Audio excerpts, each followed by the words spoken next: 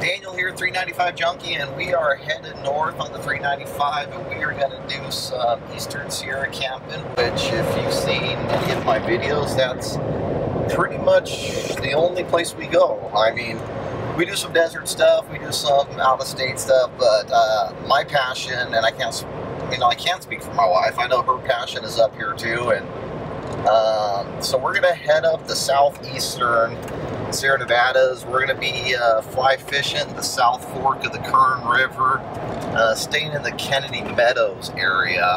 Um, we might be hopping around a couple different areas, or we might just stay in the same place. We're meeting some friends up there, so uh, we'll have some other vehicles to go back and forth to the river if we want to do different areas. Um, but uh, it's me and Goose and Isabella wanted to come with us. Say hi, Isabella. Hi. And of course, we got our new overlander, Sierra. Sierra, hey. We got our new pup here, and uh, we're going to see how she does overlanding. And she does really good in the car, so she's kind of like a baby. She just falls asleep and uh, kind of hangs out. So we're about 30 minutes into the drive. It should be another hour and a half to the turnoff. But as soon as we uh, hit the road, uh, turned off the 395, we'll take some more video and uh, show you guys what a pretty drive it is.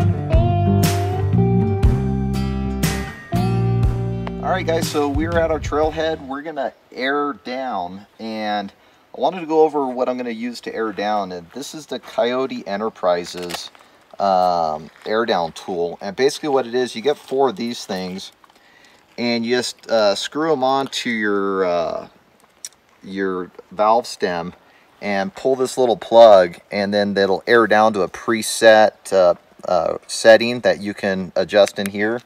If you follow me on Instagram or if you've seen any of my previous videos, uh, you'll have seen the uh, four green hoses that I hook up for the up-down air system that I put on here. They're called whips. They go from, I got little uh, valve stems, two on each side that connect the whip from there to the tire.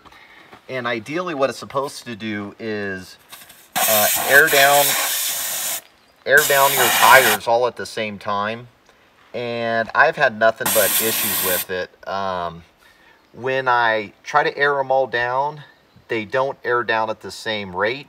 When I air up, they don't all air up at the same rate. So I called Up Down Air and uh, they clarified. They said, yeah, it doesn't equalize immediately. You have to sit there and wait for a little bit for all the tires to equalize. And to me, that defeats the purpose. And in fact, when we went uh, off-road a couple weeks ago, I aired up using the up-down air system, and I sat there waiting for 10 minutes. And maybe it's because I have big 37-inch tires. It takes a lot longer, but to the extent that I'm waiting a real long time, it's just not worth it to me. The whole point was to make my life easier and uh, a little bit quicker. So I'm just going to go back and do things the old-fashioned way. I can air down with these. I also have another uh, air down tool, which you've seen in videos.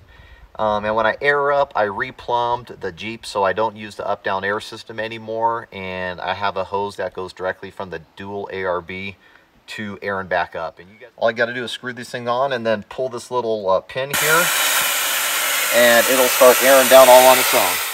All right, guys, so we're all aired down and uh, just a little overlanding 101, which I'm sure most of you guys know already. But the reason why you're airing down is, let me see if I can get a good angle for you. Uh, the footprint of the tire, if you can see, it really, you can see where there's a bulge at the bottom. And essentially what that's doing is it's increasing your footprint by probably at least, I don't know, 15, 20%. So it makes your tire width a little bit thicker and also what it's doing is it's going to give you a little bit of extra absorption and cushion when you're going over the rocks that are up ahead and all the bumps. So it's worth the effort. It's worth the time to do. And uh, it's done now. So we are going to go hit the trail and go find our campsite.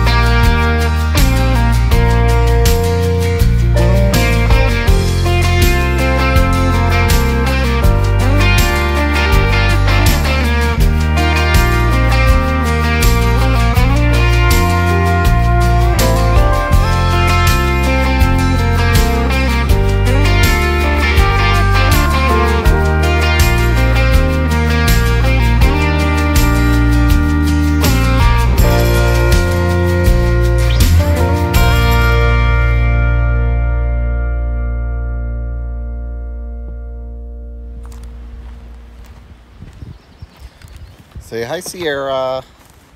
Hi. You had a rough ride up here, didn't you? She threw up a couple times and she seems to be all right now.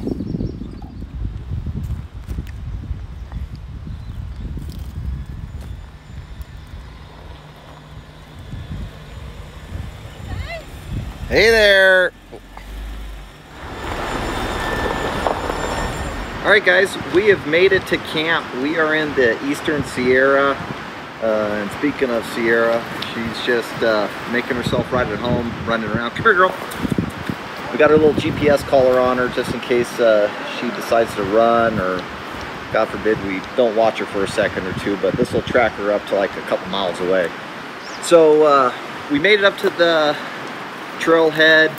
It was about an hour and a half into here and we got everything set up got the annex set up we got the toilet set up we got the hammock all set up which I've had that in the Jeep for like six months and I've got another one and who knows when we'll set that second one up but. So we got all the fun toys set up we're gonna kind of just settle in have a drink or two gonna get the fly rod all put together getting some uh, thunderstorms uh, to our north so uh, hearing some loud thunder so uh, hopefully it doesn't start raining on us, but if it does, we got some shelter, so we're not, I'm not too concerned about it. But uh, we're here, we're happy. I'm gonna show you guys around camp and uh, take you for a little tour. All right guys, so giving you a little tour. Uh, Isabella's over here hanging out in the hammock. Say hi, It's. Hi. What are you eating? Funyuns. She's got her Funyuns set up. We got uh, Got our chairs all set up. Got the Tembo Tusk with the tabletop set up in case uh, you guys didn't know, Tembo Tusk makes a little tabletop for on top of their uh, Skottle, so it makes a cool little table. You can set your beer on there, and we got our Kelty toilet all set up, ready for uh, business, so to speak. And the Jeep's all set up. Got the iKamper out. We got the annex out for uh, shelter away from the bugs and everything else. And Mama Goose, what are you doing? Babysitting duty right now? Yeah. Sierra's, uh, she's tired. She's got energy. She's tired. She's got energy. She's all over the place. So, nervous. yeah, she's nervous. The thunder doesn't help. Yeah, exactly. So, uh, we got her all set up and we've got Jesse and Bill and Kayla and Jenny down there. They're sitting right on the water here, which is a short walk over here and I keep hearing fish on. So I'm about ready to put this camera down and go see what these guys are doing. But if y'all didn't know, the South Fork of the Kern River is where the, our state fish is, which is the California Golden. Come on, Bill, we're filming. It's your time to shine.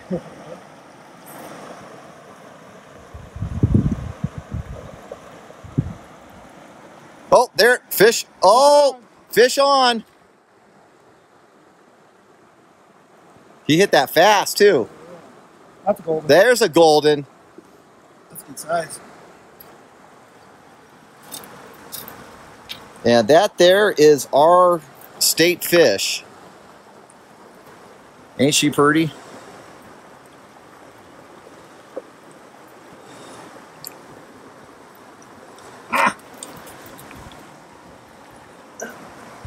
California Golden.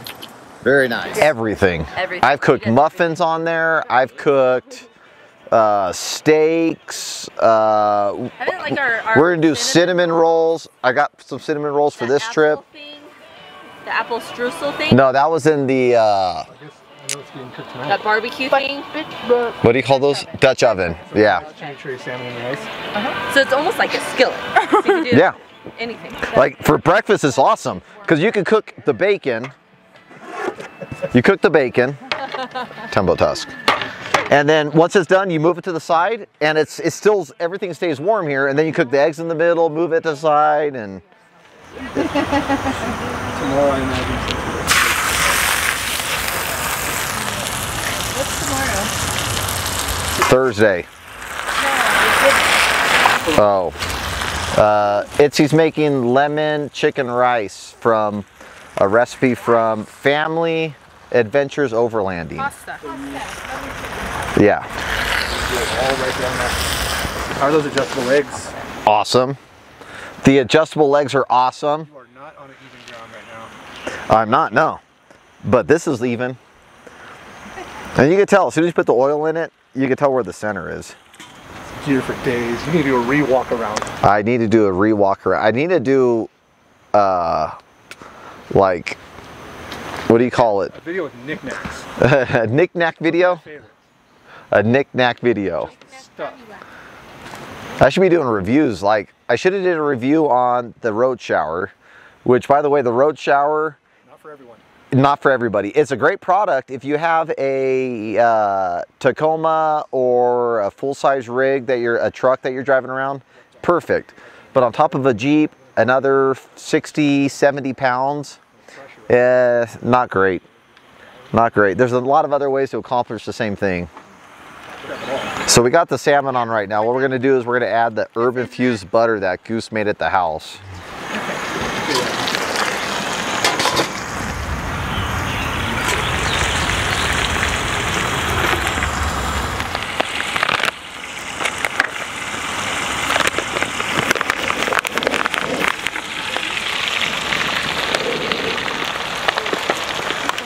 All right, take the lid off.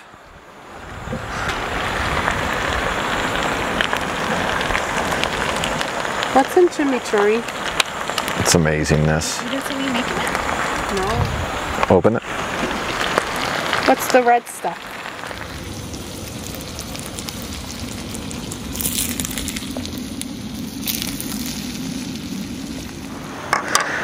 Trash.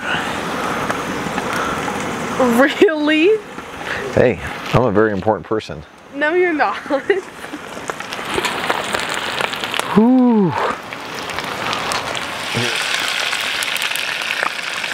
Hold on, please.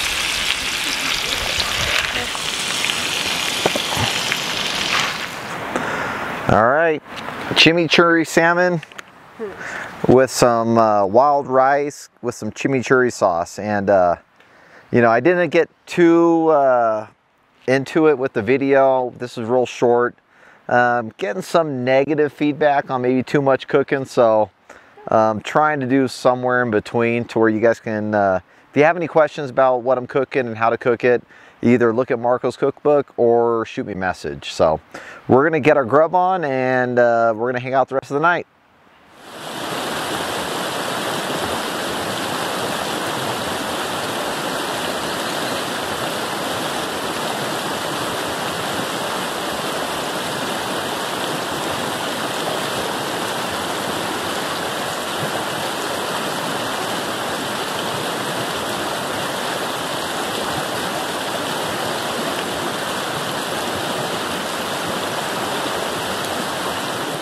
Good morning. It is Thursday morning and it is 6.30ish, 6.50. Uh, just got finished with a little morning fishing session, early morning fishing session. I got up this morning and sun was just about to rise and I couldn't help but uh, grab my pole and go uh, for a little walk in. Caught about five small browns, no goldens yet.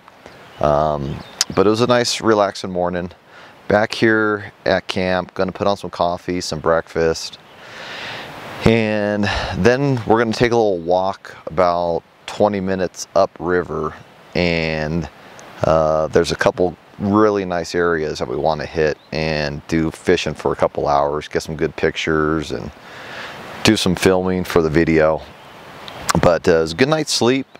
Um, we uh, met uh, one of my uh, guys that I follow on Instagram, uh, Rocklander, Billy with Rocklander. He's got a really nice uh, JL sitting on 38s. And it's interesting because his wife also has a Jeep and they go Jeeping together. So I thought we were the only crazy ones. Um, but I guess it's more common than I suspect. But had a good time last night, just hung out, went to bed around Went to the tent around 8 o'clock, watched a movie, and didn't get a great night's sleep, but uh, good enough. So feeling good, gonna get some coffee on, breakfast, uh, get all my gear ready to go, and uh, I'll shoot some video in a little bit. So uh, should be a good day.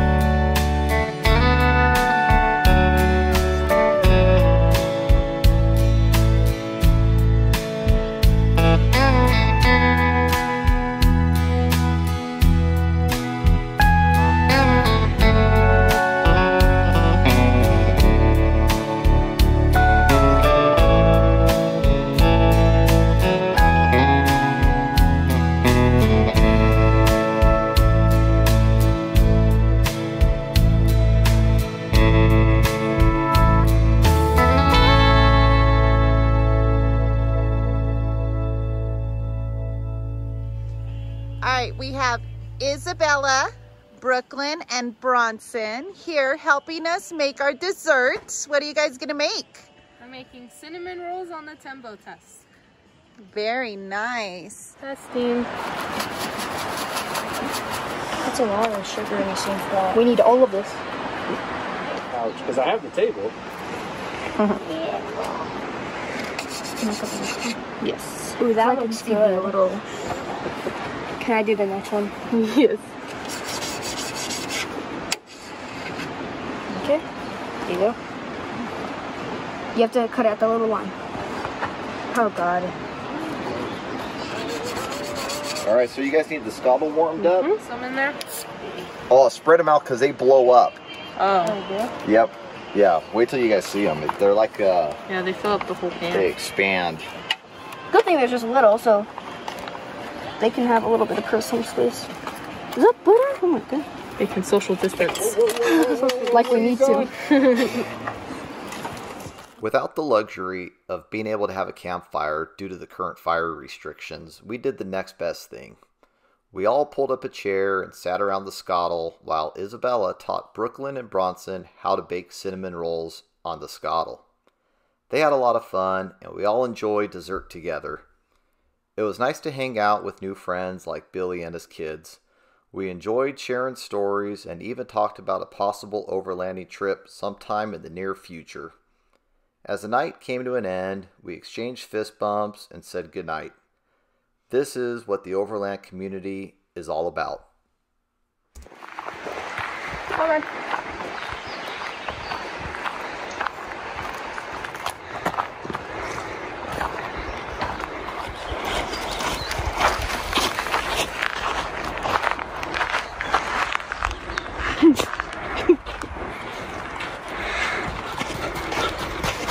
Guys, so we are just uh, finishing our hike up to the weir up here. It's a little bit of a waterfall that holds some of the water back, and it's a pretty little hike. It is probably 20 minutes from camp.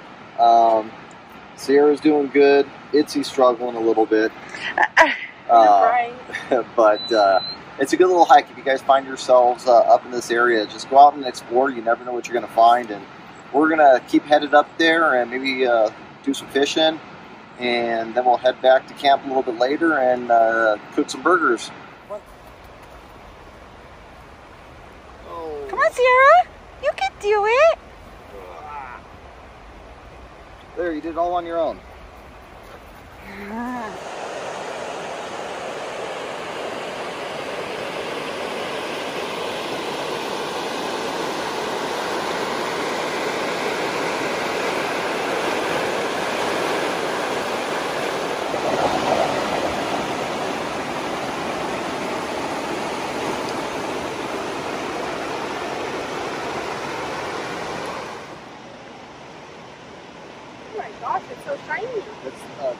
Trout. It's a state fish. Sarah, look! Let's see her up. Look at.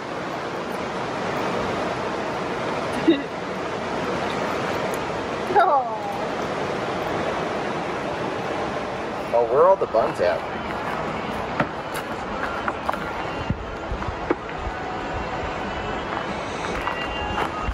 What are you doing, dear? Oh, just getting ready to cook some burgers. Half pound burgers. Ground chuck ready to go. Alright, so got some ground chuck. About uh, half pound burgers each. Just roll them up in a ball and got some of that leftover herb infused butter from yesterday, or actually the night before salmon.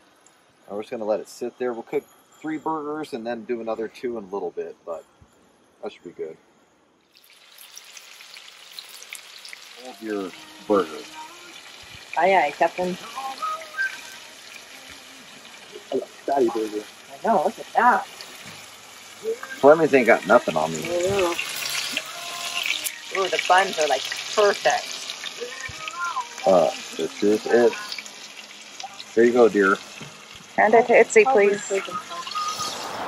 Good morning.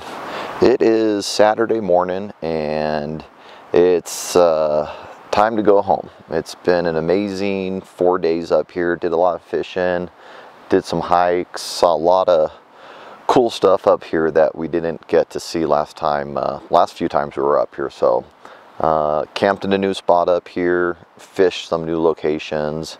Um, overall camping went really well uh, Isabella, me, and uh, Mama Goose all fit up in the iKamper with uh, Sierra, so um, that was an accomplishment in itself.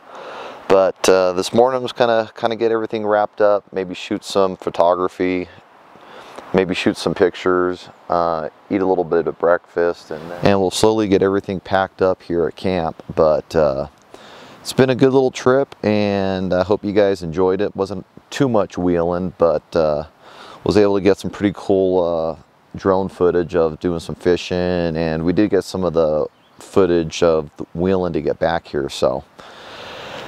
In any case, if you guys enjoy this video, if you enjoy, you know, product like this that we're putting out, if you can, give me a like, give me a subscribe, and uh, keep an eye out for more stuff that we got coming out real soon. Happy trails.